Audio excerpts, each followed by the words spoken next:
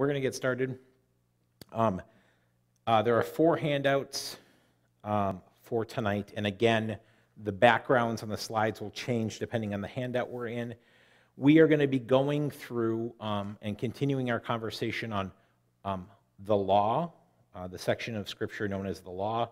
Um, and uh, tonight we're going to kind of focus on four different aspects of that, including kind of the application of that. How do we apply, how do we use the law?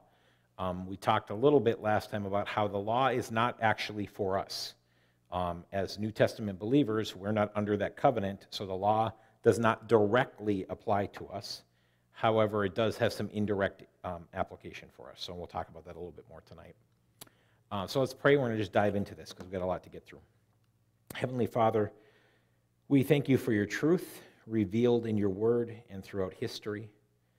Lord, we ask that you would meet us in the truth of your word and show us how to um, understand it and apply it to our lives. Um, and help us to, to kind of wade through the complexity of some of these issues of what parts of Scripture are directly applicable to us and which ones are not. Um, help us to understand that fully. And we ask all this in Jesus' name and I'll just say this up front the, the law is very unique in Scripture in that of all the aspects of Scripture, I mean, we can read the Old Testament, the historical aspects of the Old Testament, say, oh, right, we don't think that applies to us. We just understand that's history, right? Um, whereas the law has so many commands in it, we would be like, okay, what do I do with this command? And the answer is, well, we have to kind of sift through that to determine um, I would say generally speaking, and we'll talk about this more in depth later, but generally speaking, there's kind of a sense of like the answer is we don't have to do anything with it, have to, but there's things we can do with the law. Um, and so it is a little unique. So the first topic tonight is going to be about the law in Israel and its place in Scripture. So, in other words, what was the focus and the purpose of the law for the people of Israel? So even though Christians are not required to keep the Old Testament law, it still has value to us. In fact, I would go beyond saying not required to. We can, cannot and should not keep the Old Testament law, um, at least not every aspect of it. Um, we, can't, we, we should not keep any of the sacrificial law, for instance. Anything that talks about, like, this is what you do when you have this kind of sin, you sacrifice this kind of animal. We, we should not, as Christians, be doing that because Jesus is that ultimate sacrifice to go back to that the author of Hebrews would be to uh, would be basically saying Jesus' sacrifice wasn't enough.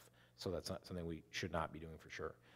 Um, but we're not required to keep it. So what do we do with it? It still has value to us. Um, in function, uh, it functioned in the history of salvation to lead us to Christ. In in Galatians 3:24, um, sorry, I got new glasses this week. I'm still getting used to them. They're bifocals and they're messing me up. Um, uh, it, it functioned in the history of salvation to lead us to Christ. So in Galatians 3:24, Paul uses this um, analogy when it comes to the law. He says it was like a pedagogue uh, that led us to Jesus, and um, we use the word pedagogue to mean like a teacher, though in in ancient uh, Hellenistic culture, the culture that Paul was writing into, pedagogues were actually family servants whose main role was to take a child and bring them from the, the home to their teacher, or on occasion maybe tutor them, but they weren't actually even the primary teacher. That wasn't their role. So um, the idea is that, the, to put it another way, is the law points us to who God is, who Jesus is, and our great need for him. Um, and that is one of its functions, big picture. But it also helps us to understand what it means for Israel to be God's people. How did Israel function as God's people? The law is a big part of that. Um, their, their obedience to the law allowed them to reflect the, the characteristics of God to an unbelieving world around them and the, their ability or, or lack thereof to follow the law, to be obedient to it, would determine how well they represented Yahweh the Lord to their neighbors. Um, However, nowhere in the Old Testament does it say, suggest that anyone was saved by keeping the law.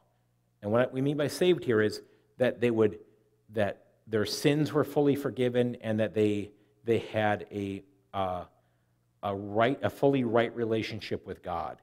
Um, salvation is not found in the law. The Old Testament doesn't even claim that it does.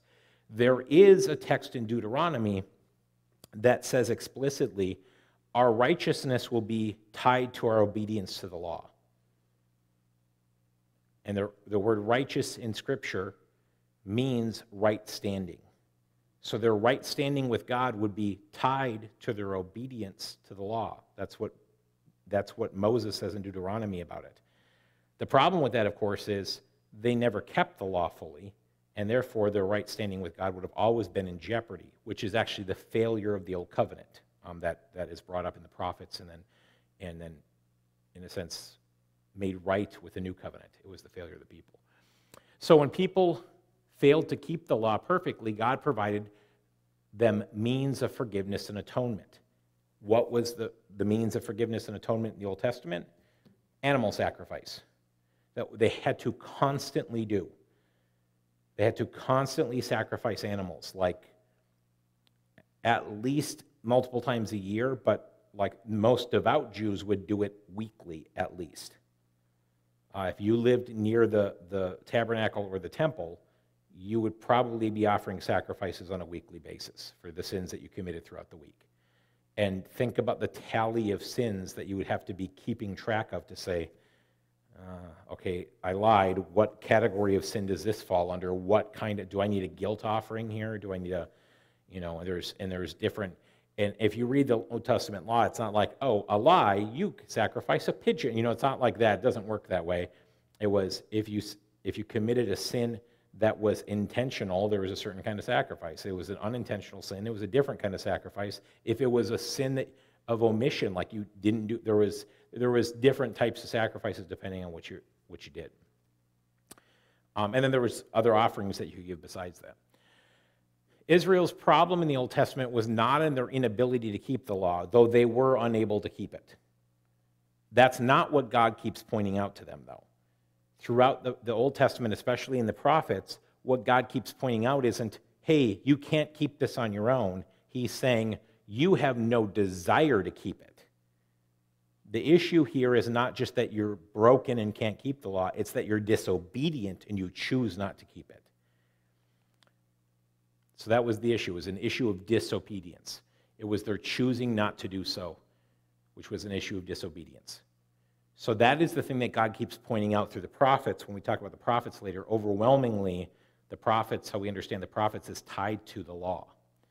And God's kind of claim against the Israelites aren't like, hey, I know you're trying your best, but you're failing. I know, because you can't really do this. It was, you guys aren't even trying. You don't want to be obedient, you want to be disobedient. And so that was his claim against them. You're not trying to keep the law. And obviously, people, some people did, but as a people, as a whole, there was a sense of disobedience overwhelmingly that God would keep pointing out to them. The story of Israel in the Old Testament is a record of constant flirtation and attraction to the false gods of their neighbors. The Israelites constantly were either flat out just worshiping other gods or at least kind of dabbling in, in, in the worship of, the, of other gods. Um, in, in Isaiah, uh, the prophet Isaiah has this vision in Isaiah chapter 6 where he stands before the throne of God. Um, and, and he, the first thing that Isaiah says is he goes, Woe unto me, for I am a man of unclean lips and I live among a people of unclean lips, and I've seen the Lord. And after God purifies his lips because he admits they're unclean, God says, I'm going to send you as a prophet. And this is what you're to tell the people. He said, Go and tell the pe- this people, you are ever hearing but never understanding. You are ever seeing but never perceiving. He says, Make the hearts of this people calloused, make their ears dull, and close their eyes. Otherwise, they might see with their eyes, hear with their ears, understand with their hearts, and turn and be healed. What is going on here is Israel is being described as dumb, deaf, uh, blind, deaf, and dumb like the idols they worshiped. And I just read Isaiah 6, 9 through 10. They're, they're, the more that they mimic and worship these idols, the more they begin to look like them.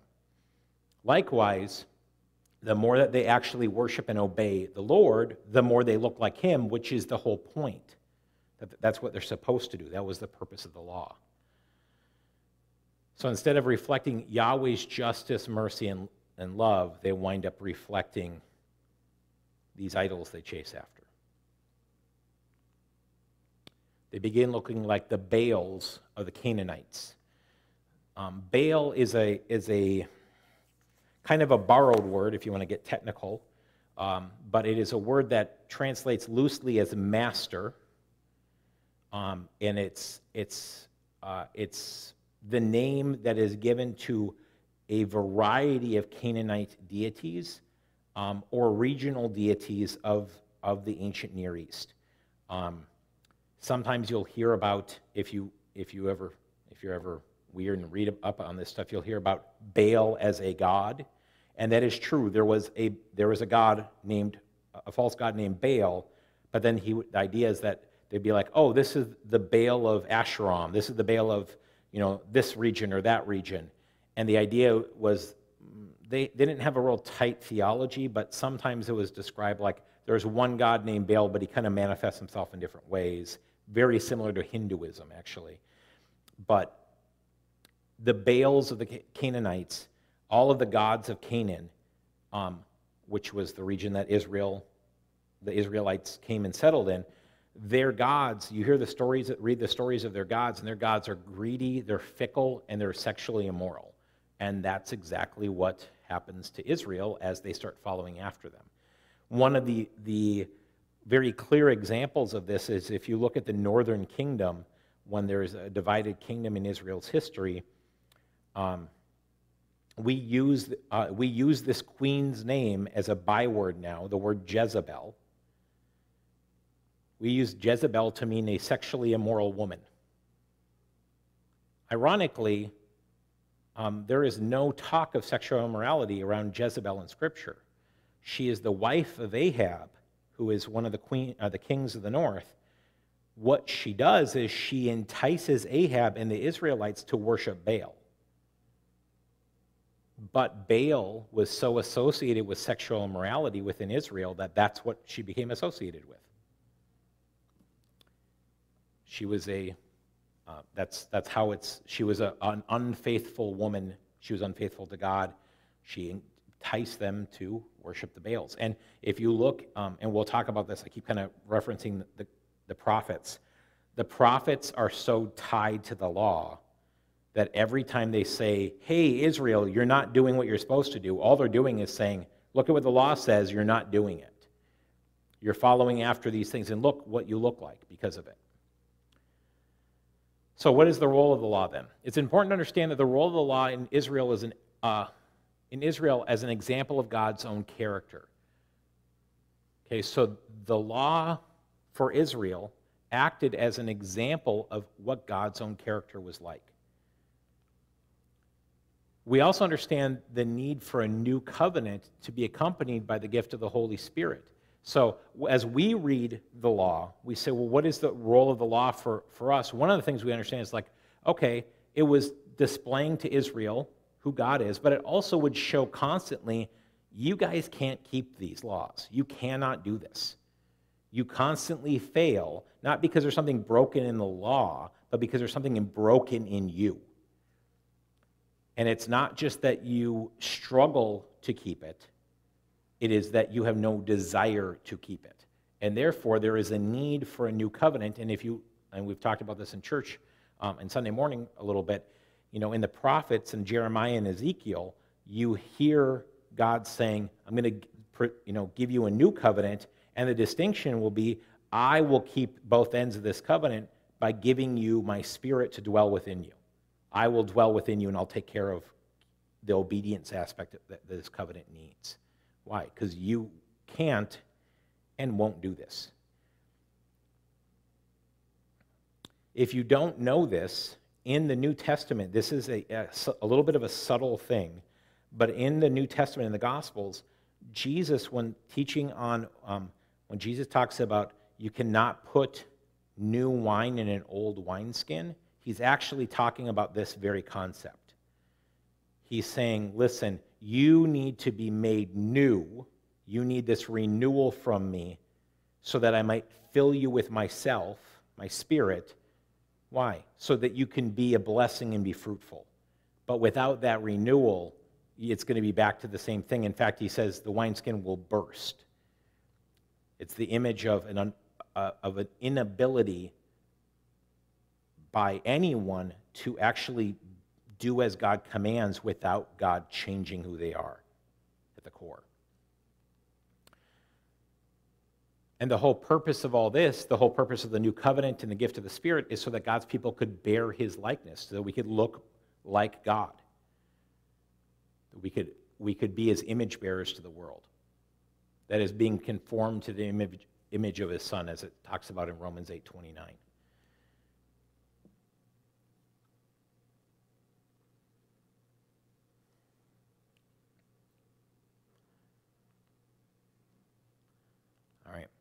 Again, the law was not a means of salvation. I'm going to keep saying this because it's important that we remember this.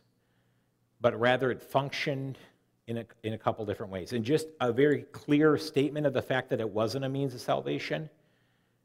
How, uh, how does the Ten Commandments start? The prologue to the law? It starts out by saying, the preamble and the prologue say, I am the Lord your God who brought you out of the land of Egypt, out of the house of slavery, or the house of slavery, out of the land of Egypt. You shall have no other gods before me. He's saying, I've already saved you. The salvation has happened. Now, because you have that standing with me, this is how you ought to act. They had that, that we would call it maybe temporal or earthly salvation in the Old Testament. So if it was not a means of salvation, it functioned in different ways. First, it set parameters of relationships. And I pointed this out before. The law was not given until there was a community of two million plus Jews that had to figure out how to look godly with one another and with their, their neighbors. It also established, was used to establish loyalty between God and his people. Um, we talked about this a little bit before that the, the law, the giving of the Mosaic law, reflects a suzerain covenant. That is a covenant between um, a king and his subjects. In this case, the king is God, the subjects are the Israelites. So, how did the king, um, what did the king demand of the subjects? Loyalty. How do you show that loyalty? By being obedient to the law. That was one of the ways that this happened. Thus, it stands as a model of what loyalty to God looked like at least during that time. And in the New Testament, that loyalty doesn't necessarily change, but the parameters kind of look slightly different. We're actually going to talk about that on Sunday a little bit. Now, when we read the Old Testament law, there are two major types of law. The first is called apodictic law. We're very familiar with these. These are laws that begin with something to the effect of do or do not. Or sometimes, if you read the King James, you shall or you shall not. Um, those are apodictic laws. They're generally applicable until the Israelites, uh, uh, until how the Israelites were supposed to. Oh, sorry. I have to read this up here again. My glasses. I got to get used to this. I keep looking through the bifocal part, and I'm like, why can't I see that? Okay. Commands that begin with, with do or do not, which are generally applicable, and tell the Israelites how they were supposed to fulfill their part of the covenant with God. There's a word missing there. Just try to figure out what it is. So basically, this is how you're supposed to fulfill covenant. Do these things, don't do those things. Um, they're, they're direct commands. They're very direct.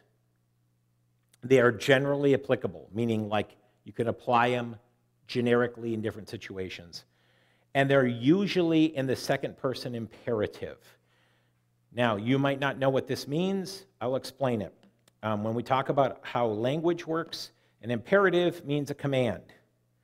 An indicative means a descriptive sentence. So, like, you know, um, he went to get the dog. That's an indicative statement. Get the dog. That's an imperative. Second person means that it's me Uh, you are being told. The, the, the, the subject is in, imply, in English an implied you. Sometimes it says you do this, sometimes it just says do this. The implied subject is you. Does that make sense? Sure. It's implied. It's not always. In English, it's not always spoken. In Hebrew, it is actually. The you is part of the, the verbal form. Um, and these laws are obviously not meant to be exhaustive. It's, it's not like, well, I did everything that was in the do's and do nots, I'm good. Okay, but you did some things that aren't listed there, but you know are wrong. Well, but it wasn't listed there. No, they're not meant to be exhaustive. They're meant to be more example setting. So you couldn't get away with, and actually, we'll talk about this a little bit. By the time of, of Jesus, there, the Pharisees especially were trying to be like, we are going to live by the letter of the law. But Jesus would often point out, yeah, but you're missing the heart of it. You're like, yep, I did that and I didn't do that. And we talked about those parables. Like, I loved my neighbor. Well, who's your neighbor? I defined my neighbor this way, so I, I followed that. Yes, but you're missing the heart of the law because you're you don't you hate those guys. Well, I don't have to worry about them because I didn't define them as my neighbor. You are not following the heart of the law. You might be following the letter of the law, but you're missing the point. Um, example of this, there's a, a, quite a few of them, but uh, uh, one is if you look in Leviticus chapter 19, 9 through 19, it has a whole list of do's and do nots. I'm not going to read all of those. Um, however, an example of them not being exhaustive. I will read verses 9 and 10. It says, When you reap the harvest of your land, you're like, it doesn't start with do or do not. It comes in a second. It says, Do not reap to the very edges of your field and gather the gleanings of your harvest. Do not go over your vineyard a second time or pick up the grapes that have fallen. Leave them for the poor and the foreigner. I am the Lord your God. And you'd say, okay. Um, you know, you see this in, in, by the way, in effect in the book of Ruth. That when you were, like if you're a farmer, how one of the ways that God provided for the poor was, hey, if you don't own land of your own because you're poor, um, and by the way, if you didn't own land, you were poor by definition because land was wealth. The idea is if you were a farmer, you weren't supposed to, you're supposed to just go through and harvest your field just one pass. Anything you missed, you were to leave for the poor so they could come and pick what was left. But it explicitly says um, when you harvest, uh, when you reap the harvest of your land, do not reap from the very edges uh, do not go over your vineyard a second time or pick up the grapes that have fallen. Okay? So, since only field crops and grapes are mentioned, because it talks about going to the edges of your field, does that mean that figs and olives were exempt from sharing with the poor and foreigners? I don't, no, no, no, no. It doesn't say anything about figs. It doesn't say olives, so I don't have to, that I can just make sure I get every single one of them. Well, the answer to that is obviously no. No, it, they're not exempt. It applied to every kind of crop you would have. It was just to act as a paradigm, that is, setting a standard by way of example. They were supposed to do that with every crop. And if you, and if you think about it, if the whole purpose of the law was to say, God saying, hey, I care about the poor, I want you to care about them as well so you look like me. I want your heart to be like my heart. So when you, when you harvest, leave some for them. And somebody coming along say, well, God didn't say anything about uh, olives and figs, so I can get all of them. They don't, the poor don't need that. Does that show that you have a heart like God, or does it show that you're trying to kind of weasel your way out of taking care of people? That's, that's the point. It's a heart issue. These laws are more akin to the Constitution than an exhaustive federal or state law codes. They're, they're kind of they're setting out in broad sweep in a broad sweep and outline the characteristics of justice and freedom in the land. They're not every single law about every single thing. Kings were allowed, Israelite kings were allowed to come up with their own laws, but they couldn't contradict the laws that already God's law. They could clarify them. They could say, hey, you know, some of you are saying you don't have to worry about your figs and olives. We're saying make sure you leave those too in case you thought you didn't have to. You know, um, they could take taxes Well, that's not talked about in the law. It's actually told that kings could take taxes when they come, but it doesn't say how much or how whatever. That would be that would be state and local laws. That would be this is more the, the law is more broad stroke. It's meant to be. They're limited in wording but comprehensive in their spirit. Okay? Because otherwise, the law, there's already 600 plus laws Imagine if God was like, I've got to lay out every single little detail with you about how everything's going to work, even though this is going to be in, in, in place. By the way, the law was in place for 1,400 years ish, 12 to 1,400 years. You don't think Israel changed at all in 12 to 1,400 years? Yeah, absolutely it did. That would be like, think about it. The United States is actually a relatively young country. We've only been around for 200 plus years.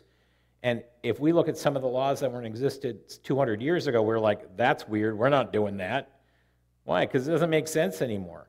Well, but what if it was general? But if you look, we, our Constitution has stayed the same. We've actually amended the Constitution to clarify things. But at the same time, it hasn't necessarily just changed something. That's why we have a whole system to make sure we don't do that because of their broad sweep, it would be impossible to keep the spirit of these laws perfectly. In fact, um, if you read in Romans chapter 8, this is Paul's entire argument. Even someone who tries to keep every letter of the law is going to fail to keep the spirit of it. In fact, by keeping the letter, sometimes you are actually going to destroy the spirit of the law. Um, Jesus gives an example of this when he says um, to the Pharisees, He goes, You tithe a tenth of everything you own, even down to your spices, your mint and your cumin and yet you neglect justice and righteousness. It's hard to command justice and righteousness. It's hard to, to codify and, and, and put that in legal terminology. And Jesus says, listen, you should have done the former. You should have done the tithing. That's fine. That's good. You didn't do anything wrong by doing that, but without neglecting the latter. There was even a custom in Jesus' day um, called Corban that you'll read about in, in the Gospels, kind of in passing, um, that Jesus actually decries as, as, as against the very spirit of the law, which was um, the law actually requires that people take care of their, their aging parents. And people would say, I don't actually want to do that, so the money that I should have set aside for that, I'm going to commit as Corban, which is a special offering saying committed to the Lord and they would say, Well, I gave that money to the temple. Now I don't have to take care of my parents. And Jesus is like, What's, what's wrong with you guys? You can't, that's not okay. It's not okay. And like, meanwhile, everyone around would be like, well, good for you, giving to the temple like that. Meanwhile, their parents are dying. You know, it's, it was, it's messed up. Thus, the reason the Pharisees developed a letter uh, to the letter approach when it came to the law. In fact, they did something called, um, that they referred to as rabbis, um, uh, uh, for, for, instance, um, Hillel, and uh, I think Hillel was the one that actually coined this phrase, who was a rabbi in the first century, um, a contemporary of, of Paul and, and Jesus. Um, he talked about how they had to put a fence around the law. We have to, we have to keep the law perfectly, and sometimes we might you know, we might not keep it perfectly because we some of those things aren't defined well enough for us. So honor the Sabbath by keeping it holy. Well, what does that mean? We will put a fence around the law. We will define that for you so that way you make sure you don't accidentally break the Sabbath.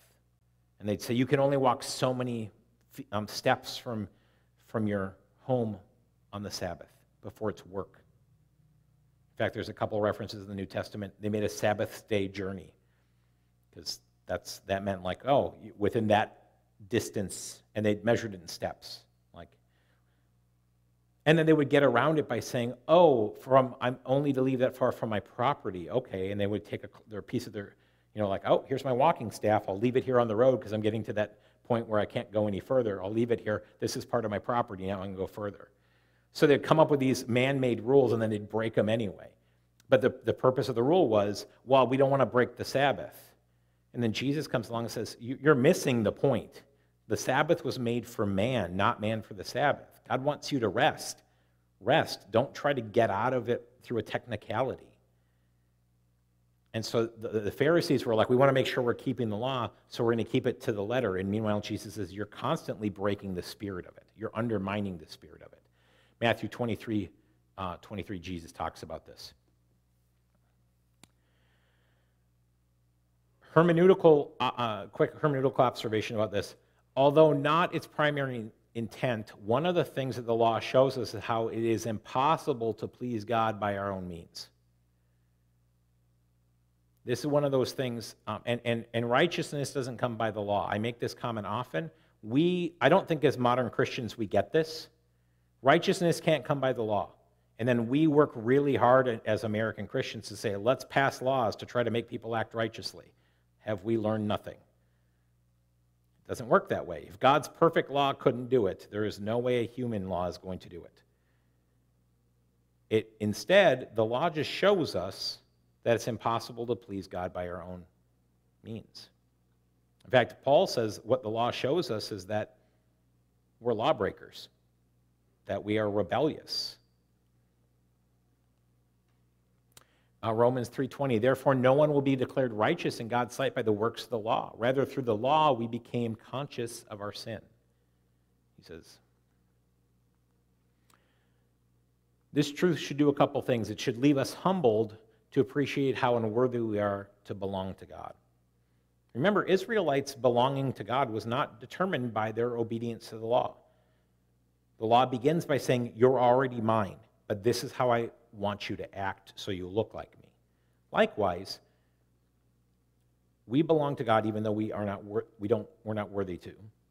But it also should move us to praise and thanksgiving that he provided a way for us to be accepted in his sight apart from humanly fulfilling the Old Testament law. Jesus did that for us.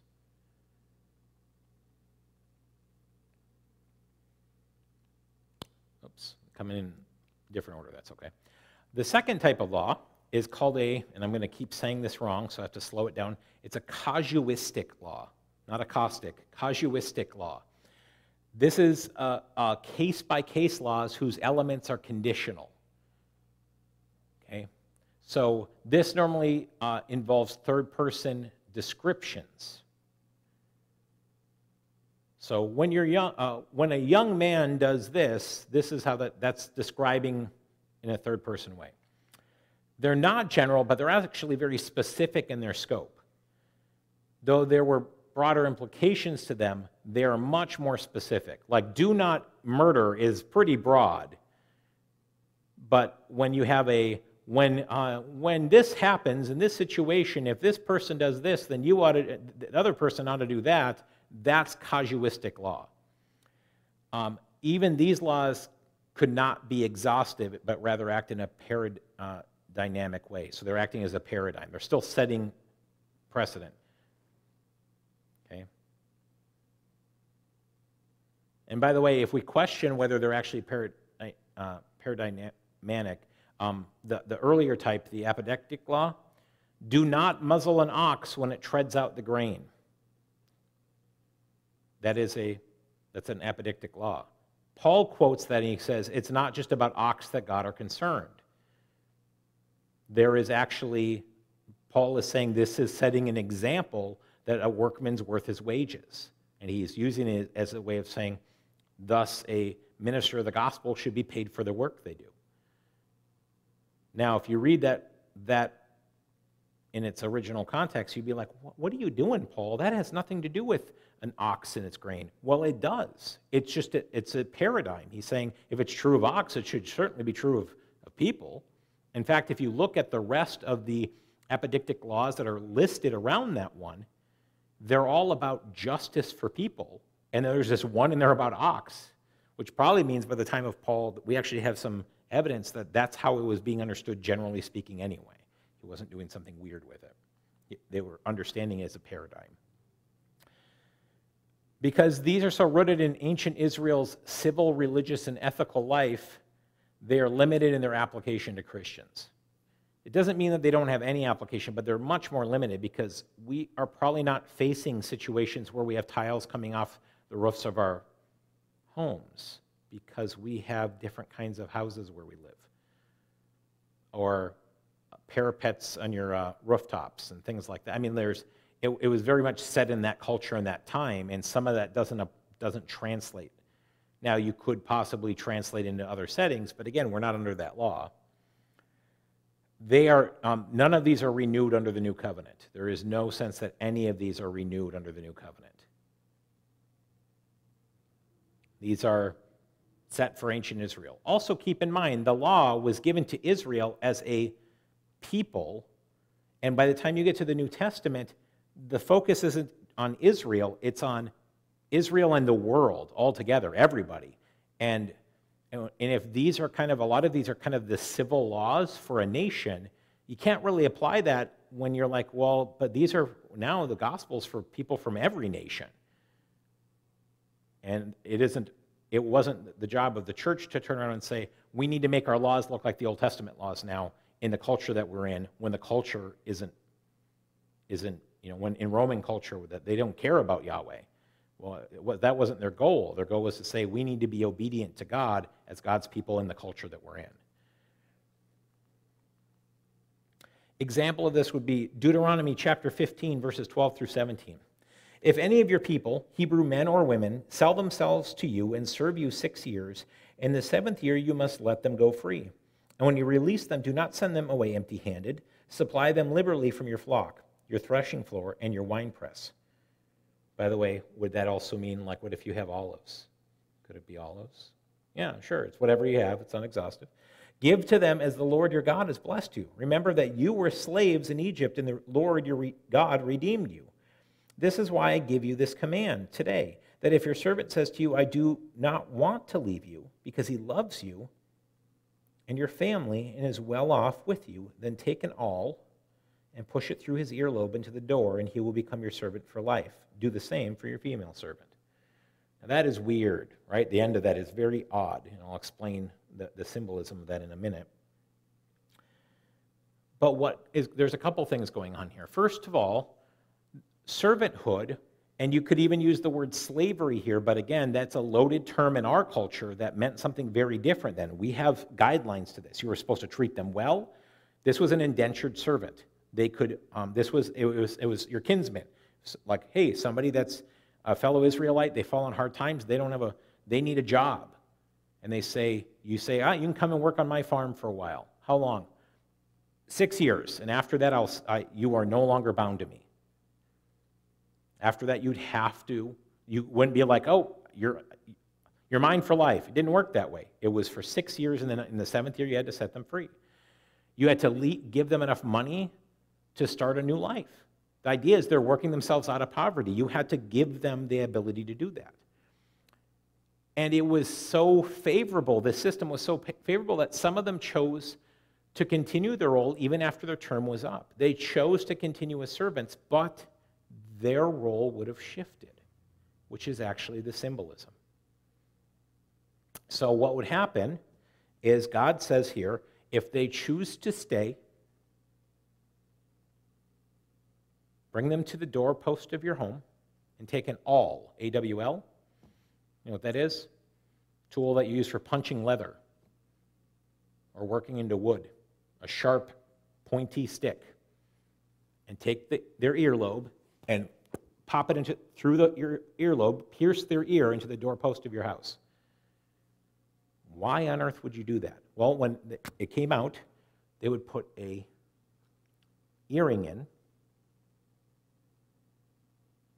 And normally it was often a gold earring, and it would show that they were servants who were serving out of love, even though they were not required to anymore. And you would do that at the doorpost of your house because you would say, You are no longer a servant, you are now part of this household.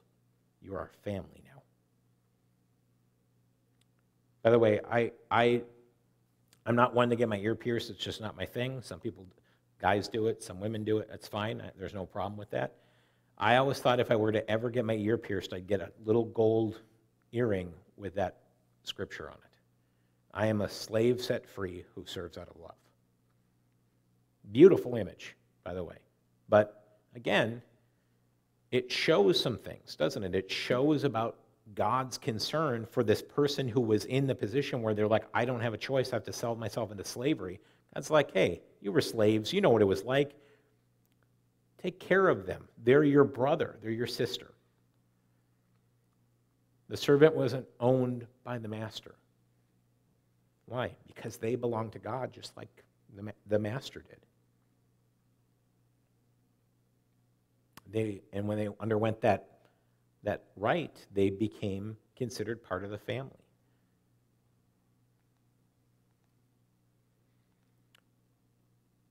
So, an example, that, that particular example, here are some applications of that.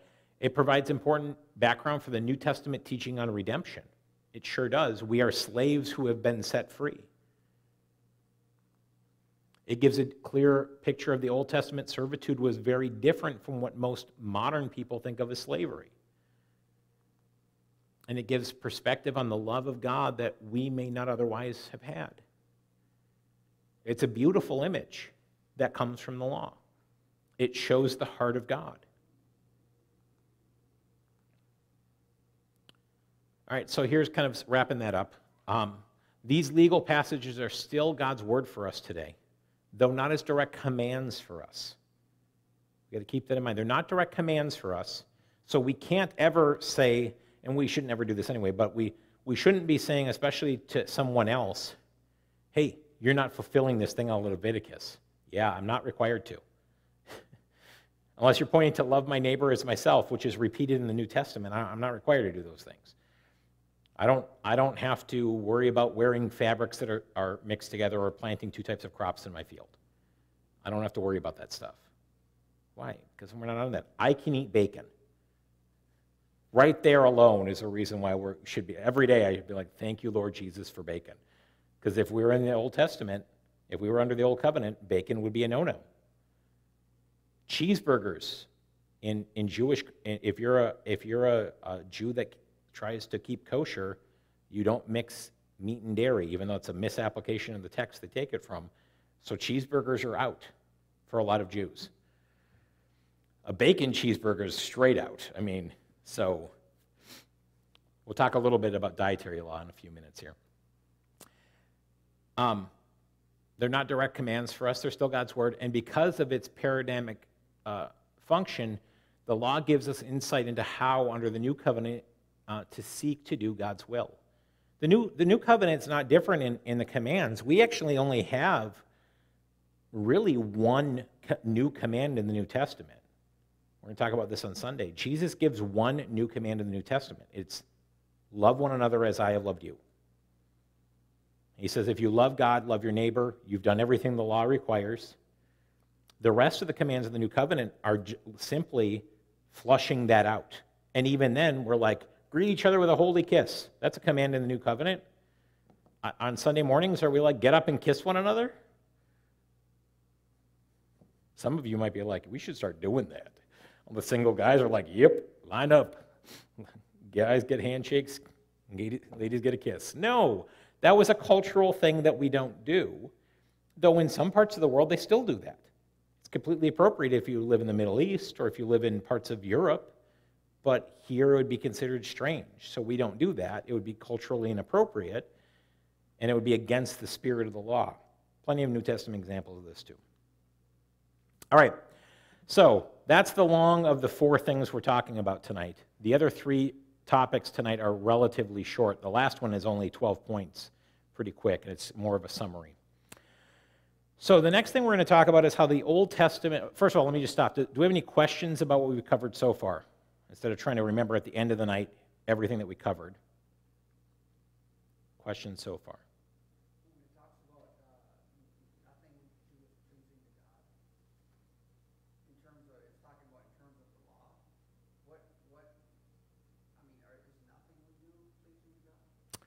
Well, is nothing we do pleasing to God according to the law, right?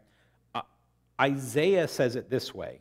Um, in that same passage, Isaiah 6, he says, oh no, it's not in Isaiah 6, it's in the, in the book of Isaiah. He says, All my righteous deeds are but filthy rags. He's saying, I can't, I, I don't have righteousness of my own. But that's not, you, righteousness and pleasing God are not the same thing. And we have to make that distinction. I mean, obviously, following the law was pleasing to God because it, it reflected God to the world. But it didn't provide salvation. That was something God gave that freely, the same as the New Testament. That's not different. Um, and the issue, I mean, am I kind of covering your question here or am I kind of missing it?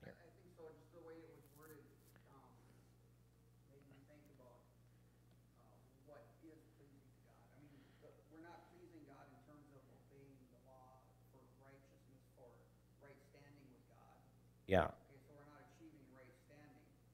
What is, and, and all of our righteousness are as filthy rags. Yeah. So, so it's the things that we're not doing for, with the goal of achieving right standing with God. It's just a little confusing. Yeah, so, yeah, so to clarify, because I'm saying this for other people that are listening.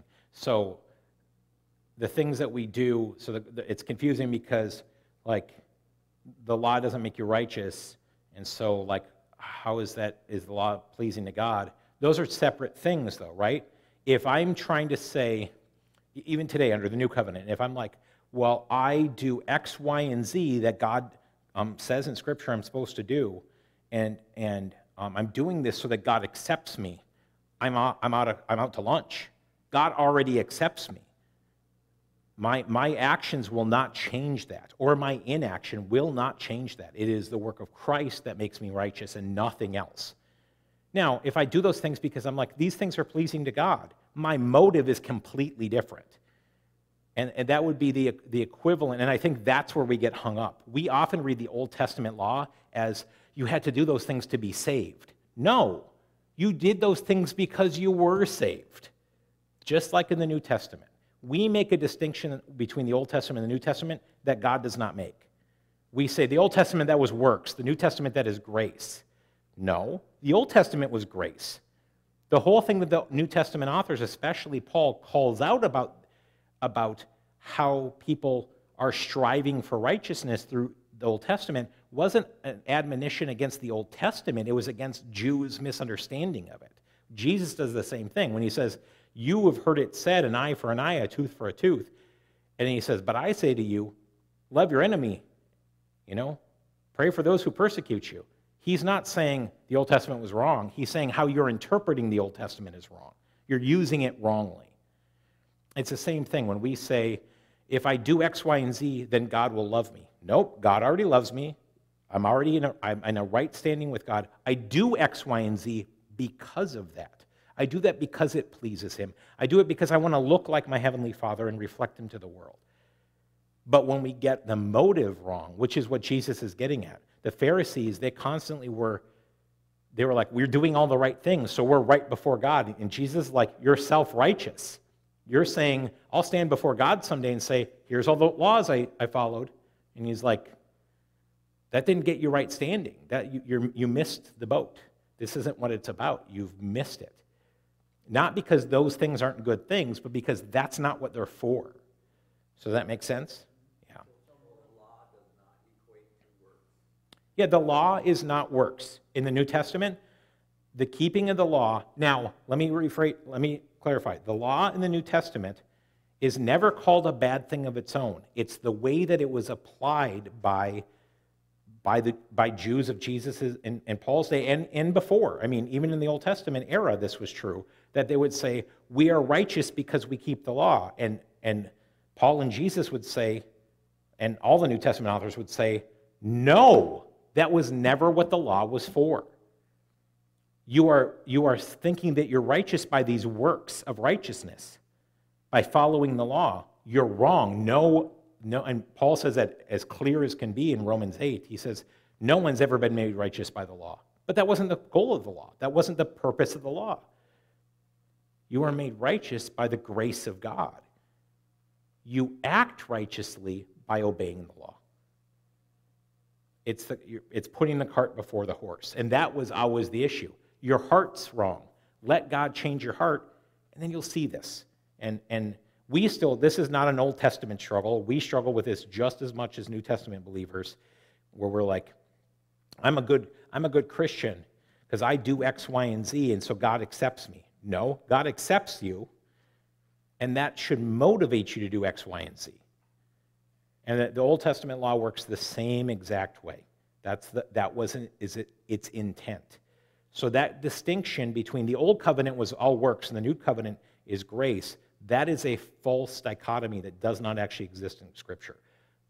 What was going on is, it, especially by the New Testament era, but even way before that, because this is human nature, they were like, we'll do these things and God will love us. We'll do these things and God will accept us. And, and, and, and Jesus says, no, no. You're supposed to be experts in the law, and you're not understanding this at all. If you think of Jesus' interaction with Nicodemus in John chapter 3, he says, Don't you understand? In order to be part of God's kingdom, you must be born again. And Nicodemus is like, What now? No, no, no, no. I can't, I can't like crawl back up at my mom. This isn't going to work. And he's like, No, you have to be born of the Spirit. You have to like, you have to be made new by God so he can control you and let you do the things that please him. And Nicodemus is like, I don't what? I don't understand what you're saying. And, and Jesus is like, And you're a teacher of Israel. You don't get this. It was, it's always been a heart issue. That's not a, there's no distinction in that between the Old and the New Testament. The only real distinction between the Old and the New Testament is God said, I know you can't do this. I know you can't keep up your end of this deal. By the way, your standing with me was never determined by you keeping up your end of the deal. Israel was still God's people even when they were disobedient. But he Discipline them like a father disciplines a son whom he loves. And that's why the things that happen to them happen to them. New Testament, it's no different, except for the fact that God says, I know you can't do that. So how about you let me live inside of you? I'm going to change, change you, and then I'm going to live inside of you so that you will, can live in a way that pleases me because it's going to be me doing it in you because you can't do it by yourself. And by the way, not only is it like, okay, now I'm doing these things that please God, that's not even the primary purpose. The primary purpose is because God wants to dwell in our midst, He wants to be with us. And so He's like, now I can be with you. And now you can look like me, which is what I made you for. Literally, from the beginning, we're created in the, to be image bearers of God. And that means that we're supposed to act and look like Him. All right, other questions before we move on? Good questions. This is the stuff we struggle with with the law, right? We either say we're supposed to keep it all, and we're not, or we say, oh, well, man, must have sucked to be them. They had to do all that stuff, otherwise they weren't saved. Nope, it didn't mean that either. We, we misunderstand the function of the law with Israel. All right, so the Torah, the law, is a, is a, is a group of, it's a law code. It's, a, it's obviously, it's, it's, a, it's a series of, of legal documents or a, you know, a legal code. Here's how you ought to act. Israel was not the first people to have a code of laws. Um, codes have been discovered that predate the Old Testament law. The, the date of the Exodus, uh, the early date is 1440 BC. I'm sorry, the, sorry. the early date to the Exodus is 1440 BC, which is strange to us because when I say early, you think that it'd have a smaller number. The late date of the Exodus is 1240 BC. But remember, BCs go backwards. So 1440 is actually before 1240. So I would say around 12, 1400, somewhere in that range. Um, so that's, you know, that's a long time ago for us, but there were other law codes in existence before that. So we're going to take just a quick glance at a couple of other law codes that existed um, before the Torah did and look at how they compare to Torah. Um, so we're going to notice some things when we when we compare them. The first thing that we're notice is there's definite ethical advancements seen in Torah. In other words, people are treating expected to treat people differently. Um, by the way, when I say the word Torah, I mean the Old Testament law. Okay, so the first example is the um, this is from a, um, a document called the Laws of, of Eshnunna. It's an Akkadian law code that dates to about 1800 BC, so it predates Torah by at least about 400 years. Um, and we're going to look at one example of the same basic law in three different law codes. So the first one, it says, if a free man has no claim against another free man, but seizes the other free man's servant girl, detains the one seized in his house, and causes her death, he must give two servant girls to the owner of the servant girl as compensation. If he has no claim against him, but seizes the wife or child of an upper class person and causes their death, it is a capital crime. Uh, it should say, the one who did the seizing must die. So, yeah, that's pretty great, right? It says, like, listen, if you don't have a claim, meaning like, hey, you owe me money, I'm taking that servant girl. Okay, take her. But if you don't have a claim, you say, you don't owe me money, but I'm going to just take that servant girl from you. And uh, while I have her, I don't know what I'm doing with her, doesn't clarify, but she dies in my possession, I got to pay you back two servant girls. Oh, but if I take, by the way, if I take a, um, if I if I grab the wife or a child of a noble person, and they happen to die, well, then I can be killed for that. Well, it would depend. I mean, this is an Akkadian code. They would have had a they would have a tier structure in their society of what causes what would count as upper class. Yeah, they would have their own, you know, kind of, uh, uh, you know, whatever you want to call that, their own. Uh, it wouldn't be just master slave. No, it would be like your noble, your um, what's the uh, what, what do they have? Um, I'm trying to remember what the term is in. Um, in Indian culture. Um, caste, they'd have a caste system. That was very common. So it's like, where were you, like, what family were you born into? Oh, you're, you're this echelon. Okay, you might be able to work your way up in your lifetime to this echelon, but then, you know, maybe your kids will be better off. But it was a whole system they had. Um, well, they, yeah, they would have understood this. Like Akkadian, people would have read this and been like, I know what they mean by upper class. They probably, there's probably a word in Akkadian that meant something very specific there too. This is obviously the translation. Because I didn't bring the Akkadian. I don't read Akkadian, sorry. Uh, this other one is from the Law Code of Hammurabi. This is actually a very, very, very famous law code. Uh, taught, even taught in schools, if you like those say, oh, this is one of the earliest law codes in existence. This was written by a Babylonian king that dates to about 1726 BC. We have it very kind of weaned down to almost exactly where. It says, uh, again, same topic. If a free nobleman hit another free nobleman's daughter uh, and caused her to have a miscarriage, he must pay 10 shekels of silver for her fetus. If that woman dies, they must put his daughter to death. Now, just to clarify, so, like one nobleman, free nobleman, hits another free nobleman's daughter. Why would you do that? But if you were to do that and she has a miscarriage, you have to pay for the baby. If she dies, your daughter will be put to death. Not the guy who killed her, but the guy's daughter who killed her. The guy who killed her's daughter. So he's not, he's not having to deal with direct consequences. Oh no, my daughter's being put to death because I hit this pregnant woman. Very odd. Um, if by a violent blow he caused a commoner's daughter to have a miscarriage, he must, it should say pay, sorry, there's some typos in this. He must pay five shekels of silver. If that woman dies, he must pay half a mina of silver. If he hit a free, man, a free nobleman's female servant and caused her to have a miscarriage, he must pay two shekels of silver. If that female servant dies, he must pay half a mina of silver. By the way, this is more advanced than the last law code. It's more clarified, and there's everybody's getting something out of it if it happens. But you'll notice some things. There's a lot of class distinctions built into both of these laws. And there are only fines for the death of a servant or commoner. Whereas death is the punishment for killing nobility. And You'll also notice a noble person would never die for killing a commoner. Or another, another no, I should rephrase that, a noble man. I'm not even talking about women in this situation, just men. A noble man would not die for killing a commoner of any type. a servant of any type.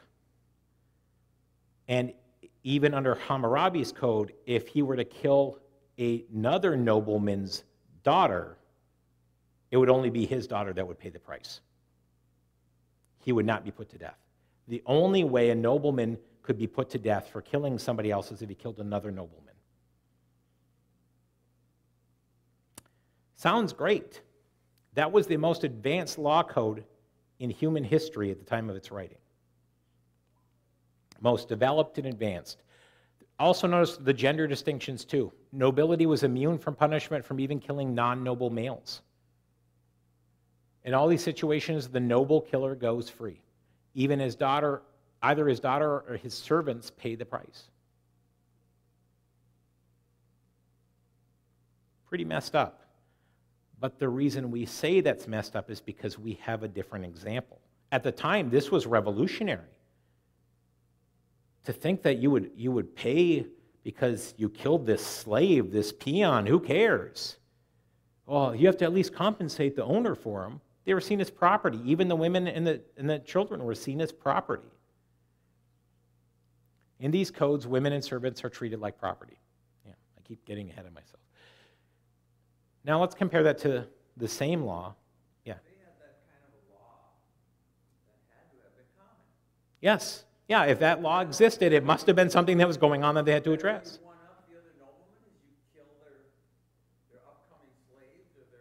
Well, actually, if you think about it, if you, like, so it must have been common. It could have been like, oh, this is more wealth for you. In that woman's belly, there's more wealth coming from you. I'll just kill her. Yeah. Yeah, we don't know. Or it was common enough that it had to be addressed in kind of detail. And we're probably like, why are you punching pregnant women? What is going on with you, right? Like, why is this even an issue? Right, right. Now, but, I mean, but let's be clear. You, you, if you watch television shows from 60 years ago, you see pregnant women smoking and drinking, and they're like, what's the big deal? And now we're like, whoa, you can't be doing that. Yeah, I mean, it just, yeah. So things change. Now, compare that to prohibitions against murder in, in the Old Testament, in, in Torah. Prohibitions against murder is absolutely unqualified by gender or social status. If you kill someone, you kill someone. It doesn't matter who the someone is. You shall not murder is the command, not you shall not murder a nobleman. It's you shall not murder anyone. And it's very clear in the rest of Torah as that's spelled out what does that look like. There is no, you'll pay a fine. It's you're put to death. If you kill a pregnant woman and she miscarries, you could be sentenced to death. Now, you had the right as the, the, the family, like the woman that was hit or the, the husband, to say, we don't, it was an accident, they don't have to die. You could totally do that. It wasn't like it was mandatory. That's the whole eye for an eye, a tooth for a tooth. That's the most you could do. But there was no distinctions made. It wasn't like, well, you killed a, a slave. I mean, they're not even really a person. No, they're a person. They're someone made in God's image. The, the penalty is the same. Whoever strikes a person with a fatal blow shall be put to death. A person. It doesn't matter who they are. Servants also have a different status. If you knock out the tooth of his slave, male or female, he shall let the slave go free because of his tooth. Look at this. This is if a master knocks the tooth out of his slave, he has to set the slave free. And we just talked about what does slavery look like back then, right? This is not like a this is indentured servant. Like I hired this guy, maybe maybe we got in a fight.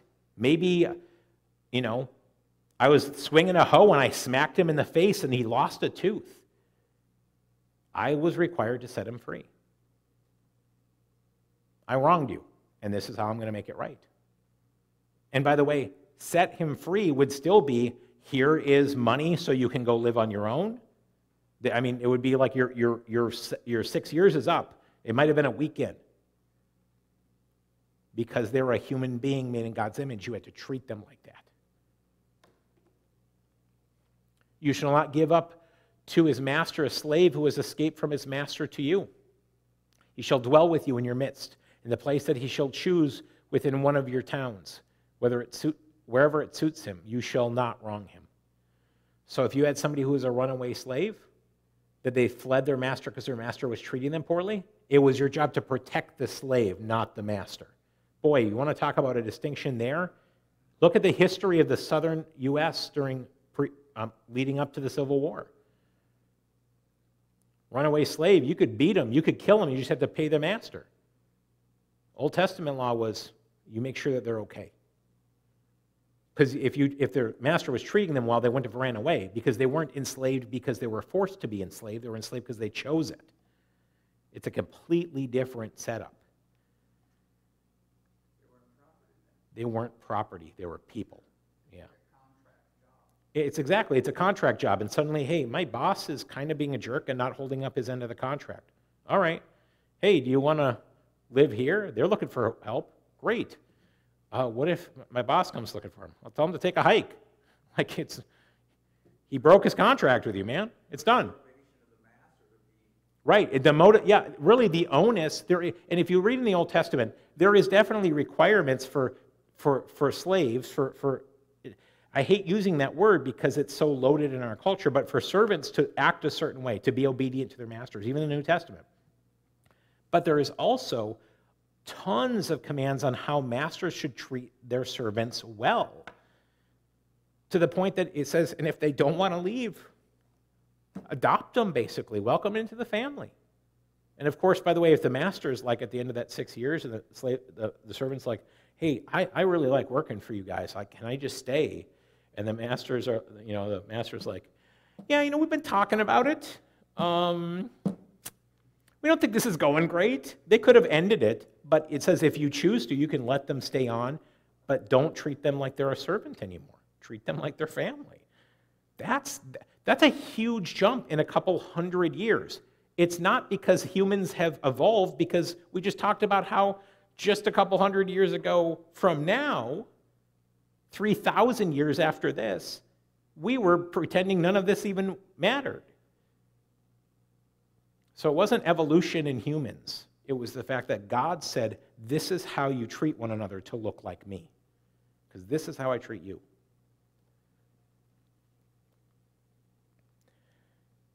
And another thing to notice is everyone pays for their own sin. There's no the daughter is going to die for the sins of the father. Fathers shall not be put to death because of their children, nor shall children be put to death because of their fathers. Each one shall be put to death for their own sin. Very clear. Some people, by the way, point out that God does punish um, children for the sins of their fathers. They say the Ten Commandments say that. That is actually false. In the Ten Commandments, it says, "I am the Lord your God who brought you out of the land of Egypt, out of the house of uh, uh, the, the, house of the land of slavery, the house of Egypt. You shall have another gods for, before me. Um, you shall not make for yourself any graven image in heaven above, earth below." And then it says, "For I, the Lord your God, am a jealous God, visiting the sins of the father." And some translations don't say the word visit, it says, um, was that? Well, it says, what is, I think that King James says, um, I think it just says, bringing the sins of the father to the children for three to four generations of those who hate me, but showing love and uh, mercy for a thousand generations of those who love me and keep my commands. But the word is actually visit. It doesn't mean they're getting punished for the sins of their parents. It's saying they're affected by the sins of their parents. And boy, if that is not true, like I can look at my own family and say, my family has struggled with this thing and that thing. Well, look at it. It's been three or four generations. Why? Because that's all we've known. And I just had a conversation with my mom, and I've had this conversation with my dad, but I had this conversation with my mom like two and a half weeks ago. I said, you know, if it wasn't for the fact that I came to know Jesus, I would have followed that pattern.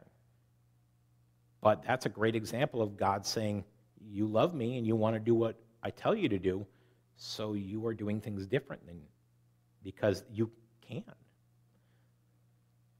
They can only do what they know. It's a very biblical principle. All right, so for this section, God's law for Israel was calling them to a higher standard than their neighbors. That's the point. There was to be a shining light on a hill. When Jesus said that in the New Testament, that wasn't a foreign concept. because they were to re- better reflect him to the world. That's what the purpose of the law is.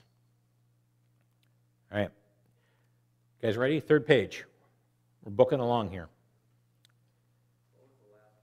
Reflect. Better reflect him to the world. Yep. All right. Benefits of the law. So our third sheet here. So the perp, remember the perp, uh, the, the law could not provide a couple of things. It could not provide eternal life. There's nothing in Scripture that says, do these things and you'll live forever. It could not provide true righteousness. Remember, no one is kept righteous by obeying the law. Remember, righteousness, right standing with God. It could not provide that.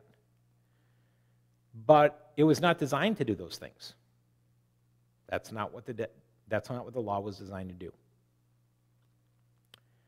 When its purpose is properly understood, it became, becomes clear that, that the law was a benefit to Israel. Having the law was good for Israel. So, we're going to talk about some of these laws that are a little bit harder for us to comprehend, but from the perspective of how they benefited Israel. The first is the dietary law. So, exa- an example the pig, because it's parts, uh, it parts the hoof and is cloven footed, does not chew the cud, is unclean to you. So, pigs are unclean animals in the law. No bacon, no ham, tough stuff. But these are not arbitrary laws. God didn't just say, I didn't like pigs. I kind of feel like I messed up when I made them. No, that's not what it's about. They were protective. These laws are protective in their nature. The dietary law is overwhelmingly protective in their, its nature. Some of those protections no longer need to be, in, um, no longer apply. Um, and some of them were very localized in their protection. So the vast majority of foods prohibited are, fall under a couple of categories. Um, they are more likely to carry disease in the arid climate of the Sinai Desert and or the land of Canaan. Um, now, there is a lot of people that say, yep, pigs are more apt to carry disease. That's not true. Pigs are not more apt to carry disease than, than say, um, cows are. But in an arid climate, in that region of the world, that is definitely the case. They are much more apt to. Um, for a variety of reasons. And there's other animals as well that would be. Um, they're also foolishly uneconomical to raise as food in the particular agrarian context of Sinai or Canaan. In other words, God's like, don't, don't, don't do that. That's like you're wasting your money. Like that's just that's foolish. So some some of the the the food, and not just food that when we say food, I don't just mean animals Remember, there's also dietary restrictions or even um, practices that you are supposed to avoid, like mixing things in a field. We'll talk about that as there's actually a, a, a sympathetic magic element to that. But even then, it's like that doesn't make any sense economically. It makes it harder to plant seeds, it makes it harder to, to harvest your, your produce. But ironically, God does say, I want you to rotate your crops which is something that we found like, oh yeah, that's really, really, really effective, right? Like we see that now. You drive down, you know, the road here and you'll be like, oh, everybody here raises soy or, or corn. And you can tell people rotate their crops. Soy, soy, soy, you know, corn, corn, corn. Oh, that's a soy field. Uh, it wasn't last year. Look at all the corn sprouting up in the middle of it because there's leftover seed from the year before, and some of it. Pro- well, that's actually talked about in the Old Testament. That God's like, yeah, rotate them. Don't mix them. Can you imagine trying to harvest corn and soy out of the same field, it would be you would be stepping all over the soy to get the corn, and it would be you'd be cutting yourself up in the corn trying to get the soy. It'd be it's foolish. It just it, it's not doesn't make any sense. That is not the only reason that God said that, but it is one. Um, there are also foods uh, favored for religious sacrifice by groups whose practices the Israelites were not to copy. Pigs fall heavily in this category. Now, here's the irony. I said that pigs have a little bit more of uh, an aptitude to, to carry disease in arid climates. That is somewhat true, though actually, the more that we look, the less we find that's the case. Um, if, you, if you cook pork, you're not more apt to get sick from pork than you are any other animal. Um, You know, we're like, oh, pigs eat anything you give them. That actually makes them extremely economical to raise. You just give them your leftovers. So you're like, well, they don't seem to fall in that category. However, pigs were the go to sacrificial animal by most other religious groups. I uh, mentioned this uh, in a little history survey earlier that how every time somebody went into the temple to sacrifice, they sacrificed a pig. It wasn't just to slight the Jews, it was because that's what they normally sacrificed. It was extremely common to sacrifice pigs. Why? Probably because they were cheap. Yeah, they're easy to raise, they're cheap. I don't know, but that's it was very common in most cultures to sacrifice pigs. And God's like, I don't want you guys dealing with those. Leave them alone.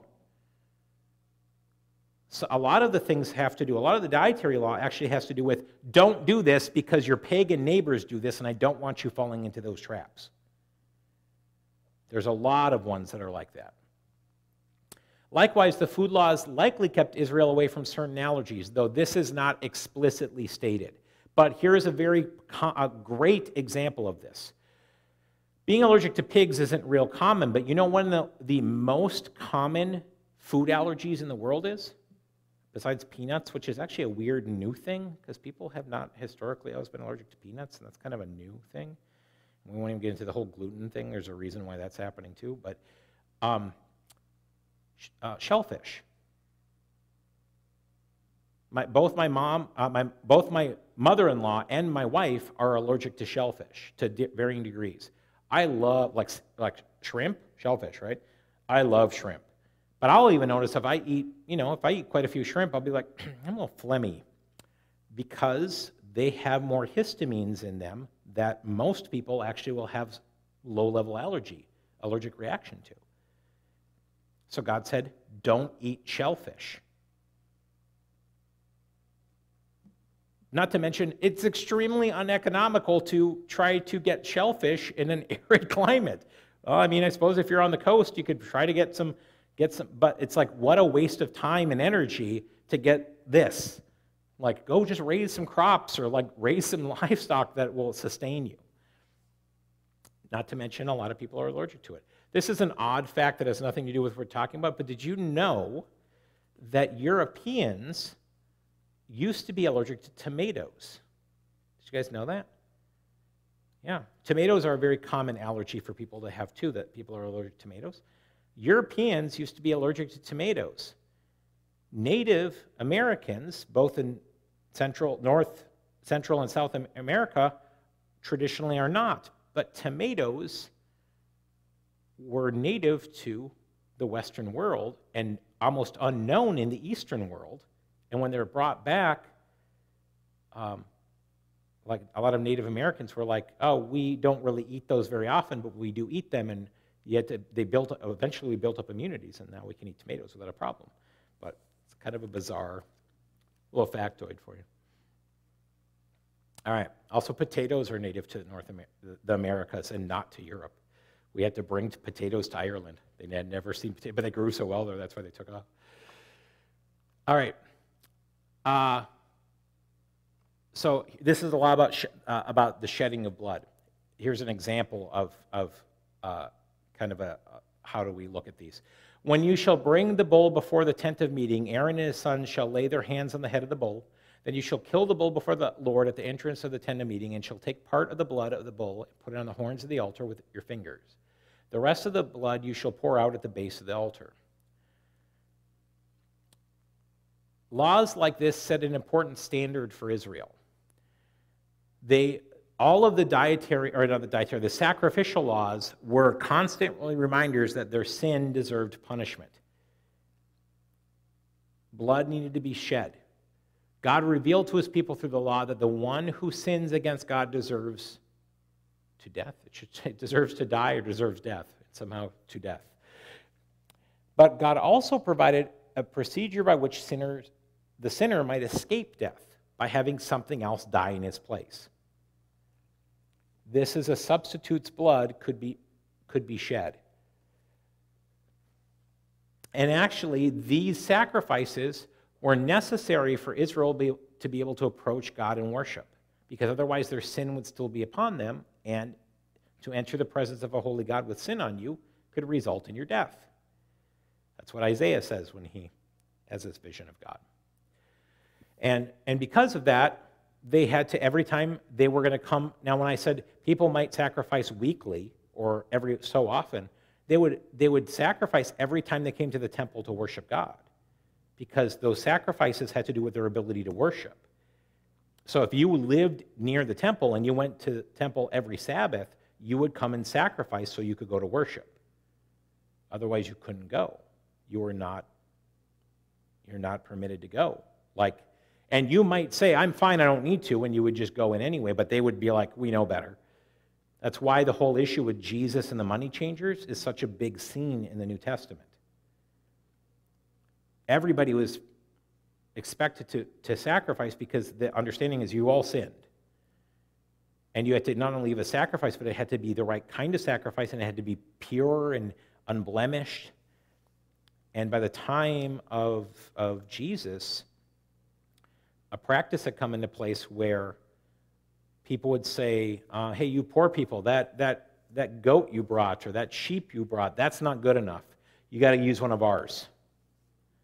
And they'd be like, well, how much is yours? Uh, well, your, your, your sheep's worth a, a denarii. Ours are worth one and a half denarii. So they're making a profit off it. They were making a profit off people being able to worship God. And who would be kept from worshiping God then? The poor and foreigners who could not, wouldn't have livestock with them. And G, that's why Jesus gets mad. You're like, you're turning this place that's supposed to be a house of prayer into a marketplace to make a profit in keeping people, especially the poor and the foreigners, from being able to worship God. And that's why he gets so angry. He wasn't upset about, like, oh, look at what you've done. My father is so upset because you've messed up his house. No, it was because you're not allowing God, God's people to come and worship him because they can't deal with their sin. They also are the backdrop for the New Testament. Indeed, under the law, almost everything is purified with blood, and without the shedding of blood, there is no forgiveness of sins. They set the precedent for Christ's substitutionary atonement that Jesus died, he shed his blood for us. That is, every time you read an Old Testament law that says you shall sacrifice this animal for your sin, it is just foreshadowing what Jesus did for us.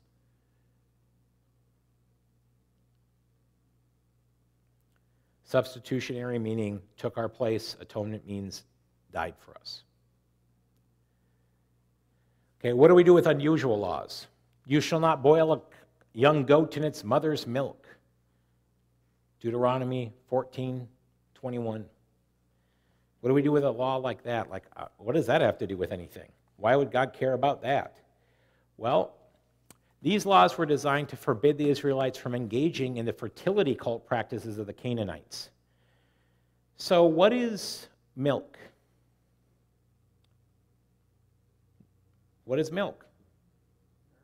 It's nourishment for what? Well, we drink milk as adults, which is a strange thing, and actually, we're the only animals that no animal drinks milk after they're a baby. No mammal drinks milk once they're, you know, weaned. They, stop drinking milk. They eat solid food and they leave milk behind, as Paul talks about. We drink milk because we drink milk, because we're like, hey, it's nourishing, it's great, and we, we keep getting milk, which is great. But what is milk's primary function? Why do goats produce milk? To feed their babies. And now you took the thing that was meant to help provide life and nourishment and you use it to kill it. It is a form, and they would think that it was a form of magic by doing that. We think of magic as they're casting a spell. They thought that by doing certain rituals, they would say, oh, by undoing this life in this kind of grotesque way, maybe we'll infuse the land with magic and we'll get a good crop this year. Or maybe that goat next time around will, you know, give even stronger or better or more calves. Yeah, it was something like added. Yeah, well, and but keep in mind, this was Canaanites did these things to try to appease their fickle gods. Right? well, we didn't get a good crop. We must have angered the gods. Let's do something. Oh, they tell us to boil a calf in its mother's milk. What kind of cruel joke is that? And God's like, don't do that. My people don't do that kind of thing. I don't demand that of you. That's gonna, that's, that looks like your neighbors. Don't do that kind of thing. Yeah, don't go there. I will never ask you to sacrifice your young to me. Another thing that God says I will never say, take your daughters and your sons and sacrifice them to me. The Baals did that. In a bit, yeah, like the, the Baals and the, the false worship. Well, designed to, to, to offend God. And in a sense, probably it was, if you think of it, of the demonic nature of, of that false worship. Absolutely. But God is saying, don't do this. My people don't do these things. And yeah, he had to tell them. And we think it's strange, but it was because they saw it being practiced around them. And that's why he had to say, You see those things, you don't do those things. Most of the unusual laws of the Old Testament were so steeped in culture that that's why. So, another example of this is the whole thing that is often mistranslated as tattoo. Do not tattoo your body. That was a translational choice. It just says, Do not mark your body. And it's a reference not to getting a tattoo, like the way we would do tattoos today. It's like, oh, I got a little ink on my arm, whatever. There is actually no prohibition in the Old Testament about that. And by the way, if there was, we're not under that law, so it's fine. So Christians can get tattoos. You heard it here. Um, but it's actually not a reference to that. It is a reference to a practice that Baal worshippers would do to say, to say to their God, we are very sincere in, in, our devotion to you, so we will cut ourselves again and again and bleed to show you how much we really are devoted to you. We see this in the story of Elijah and the prophets of Baal. And Elijah's sitting back going like, you're trying to get your God to do, and you're cutting yourself, and like, yep, keep going, keep doing it. And God's like, I, I don't work that way. You're not going to twist my arm to get me to do it. Don't do those things. I don't respond to that. Why did he have to say that? Because their neighbors were doing that very thing. And he said, You don't, no, you guys don't do that. Now, you might say, Well, we see our neighbors putting on tattoos. They're not putting on tattoos because they're like, If I put on this tattoo of a skull on my arm and now, you know, now death won't find me. That's not why people get tattoos. That's not what I mean. If you do, don't do it for that reason, but that's not what it's about. So, a lot of these had to do with the idea of something called sympathetic magic. This was a very commonly held belief, not only in the ancient Near East, this still kind of permeates our culture in ways that we don't even understand. But like sympathetic magic is the idea that symbolic actions can influence um, the gods, I should say the gods, and nature. Right? You know, weird things that we do like, and we, like, probably, maybe nobody in this room does any of these things, but like, that you'll see people do where, like, uh, you know, the old thing where, like, oh, I spilled salt and I threw a little over my shoulder. Why, well, I don't want to get bad luck. That's sympathetic magic. That's all that is. Just, you know, oh, it's good luck. That's anything that's luck is sympathetic magic. You're trying to twist fate, is what you're trying to do. But they had a very structured understanding of how that worked. So if you we if maybe you plant different crops in the same field at the same time you're you're taking this god and this god and it's like they're getting married and now you'll have the, the, the earth and the and the sun will be coming together and then they'll give you a better crop. So we'll do that and god's like no put the same crop in the same field. Just trust me it's better for you. But also because they're doing that to try to manipulate nature and it doesn't work like that. So he's trying to say don't get involved in these practices boiling a kid in its mother's milk was thought to guarantee the fertility of the flock. I sacrificed this one by doing this weird ritual. Now the rest will be healthy. I mean, in our, in our modern minds, it makes no sense, but in that setting, they're like, that makes perfect sense. And if you go to parts of the world, they'd still probably be like, oh, that's a good idea. We should do that. Right? But God was like, I don't want you guys to be engaged in that kind of behavior because it is, if, if nothing else, it is a plea by God to say, I am not going to be manipulated by your things. You'll have a good crop because I want to bless you. And if you don't have a good crop, it's not because I'm necessarily angry with you, though maybe, maybe it's because of your sin. But by the way, your sacrifices or your sympathetic magic isn't going to change that. What's going to change that is repentance, a change of heart. And even then, it might be like, well, there's a reason, there's a, you know, it might have, it might be something else that has nothing to do with us. And God saying, I'm not manipulated. Knowing the intention of such laws can help you see that they are not arbitrary, but actually crucial. All right. Laws giving blessings to those that keep them. All right. um, this is in the middle of Deuteronomy. It says, At the end of every three years, you shall bring out all the tithe of your produce in the same year and laid up within your towns. And the Levite, because he has no portion or inheritance with you, and the sojourner, the fatherless, and the widow who are within your towns shall come and eat and be filled. And the Lord your God may, that the Lord your God may bless you in all the work of your hands that you do. So if you want to talk about what is God's answer to sympathetic magic, it's, hey, you know how I'm taking care of you? Take care of the people around you that can't. All of Israel's laws were designed to be a means of blessing for the people of God. Some of them, however, specifically mention that obedience will provide a blessing. If the people do not care for the needy among them, those without land, orphans, widows, foreigners, Levites, Levites didn't have land, then God would withhold prosperity. But if you think about it, what God is saying is like, listen, if you take from the blessing that I've given you for those who can have land and can raise crops and take care of those who can't, I'll continue to do this for you. But if you refuse to do it, then I will withhold from you just like you are withholding from them.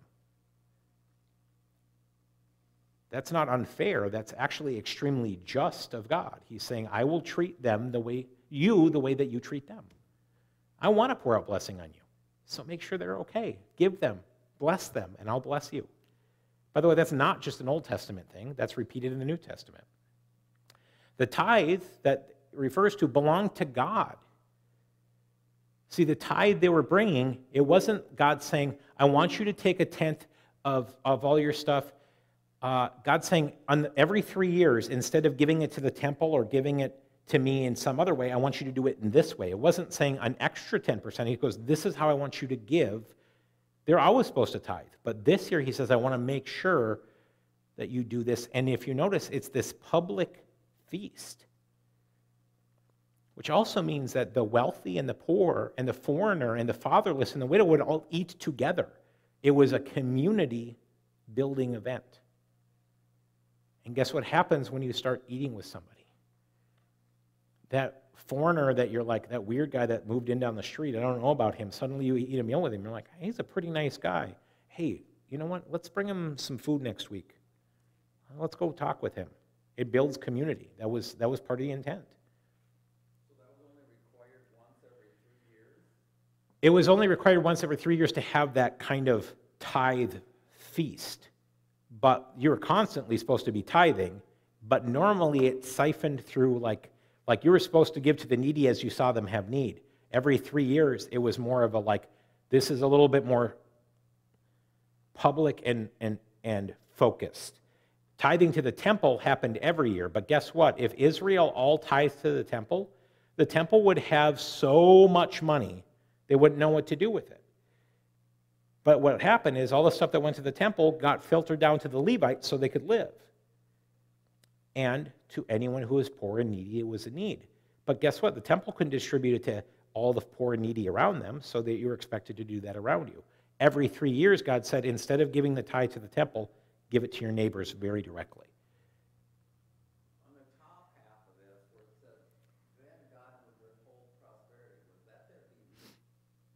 that God would withhold prosperity if they didn't do this thing? Yeah, well, God said that. He goes, I'm not going to bless you if you don't do this. Yeah, God, Scripture explicitly says, I will not bless you if you do not do this. But if you do these things, you will be blessed. And remember, in Scripture, the idea of blessing is God putting his hand of favor on you, and to be cursed, or the opposite, is God just removing his hand. He's like, if you're not going to do this, then don't expect me to give to you. I'm going to remove that hand.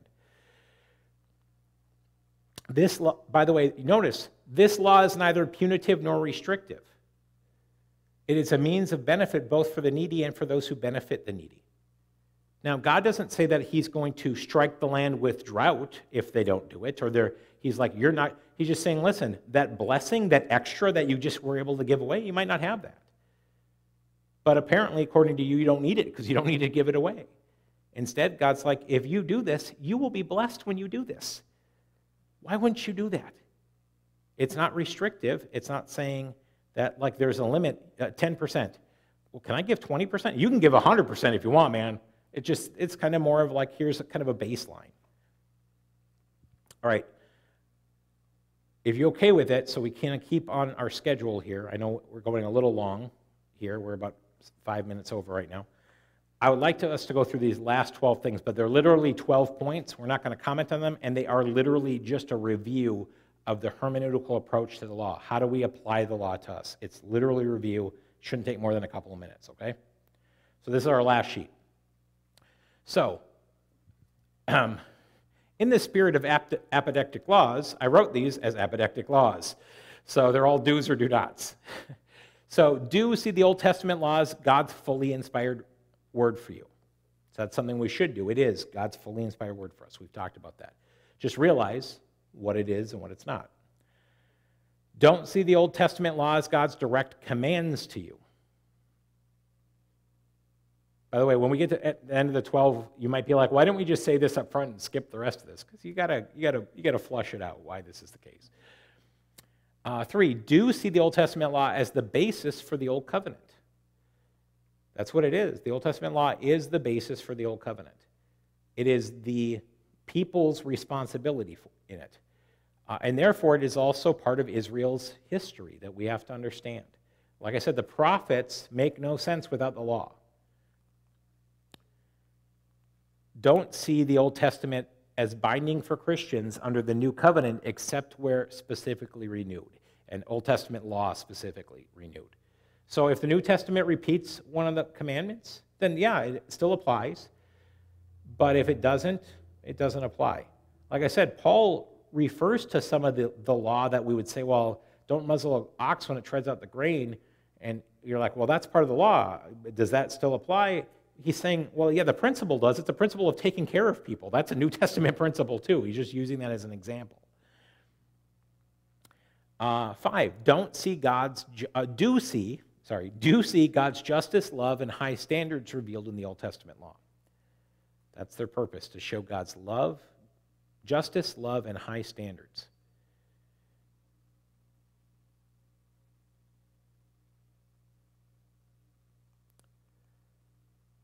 Uh, don't forget to see that God's mercy is made equal to the severity of the standards. God wants to show mercy. That is overwhelmingly shown in the law.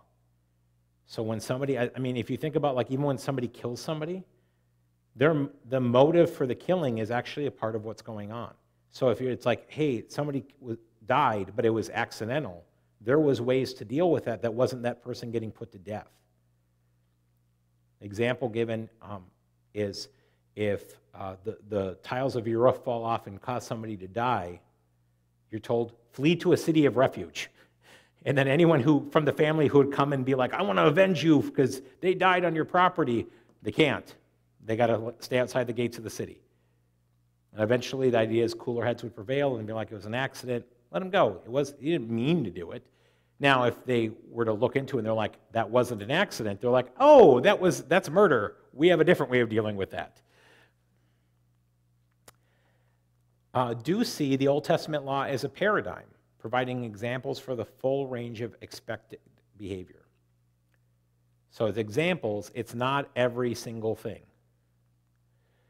Don't see the Old Testament law as complete. In other words, it doesn't have every single thing laid out completely. It's not meant to. It's, it is not technically comprehensive. That's what we mean by that. do remember that the essence of the Old Testament law is repeated in the prophets and renewed in the New Covenant. We're going to talk about this a little bit on Sunday. That is the Ten Commandments and the two laws of love.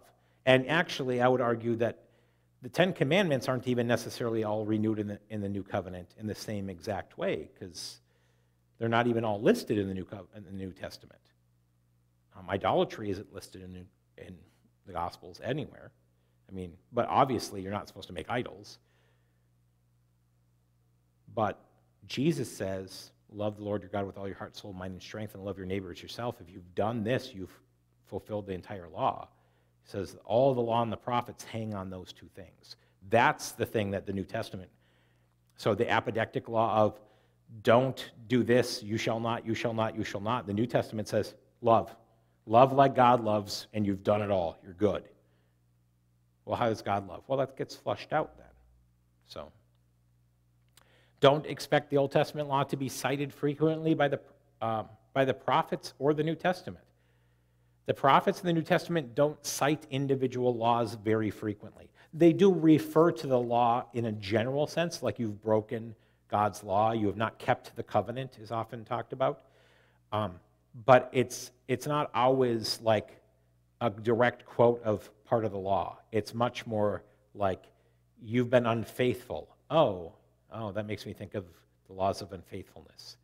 You know, uh, there's some people that think what Jesus was writing in the sand with the woman caught in adultery, he might have been writing out that law.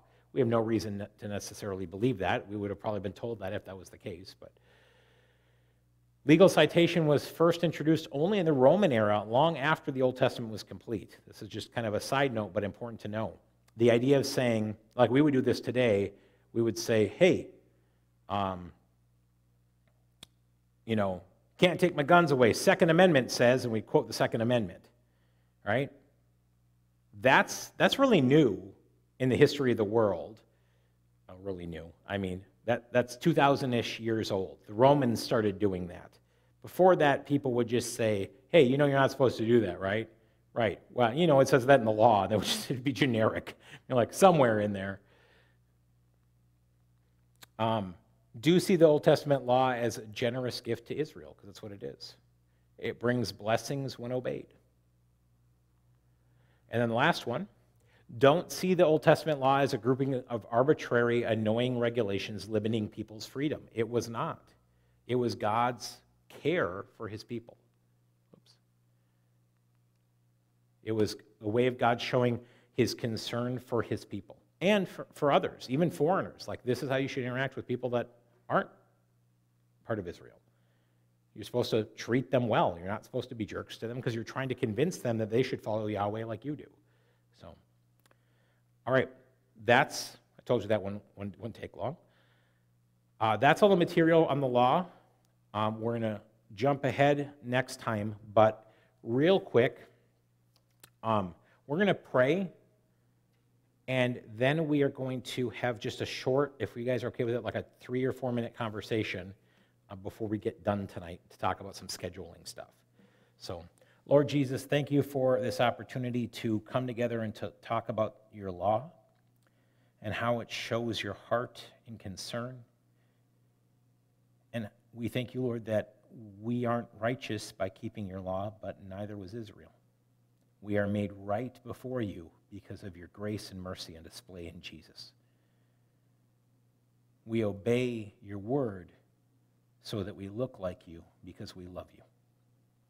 But your love came well before our obedience. So, Lord, as we reflect on your love on display in your, in your law, help us to see it for what it is. Help us to see you in it. And thank you, Lord, that your spirit living in us is what allows us to be obedient to your word and helps us to live out the righteousness that we have because of Jesus. We ask all this in Jesus' holy and precious name.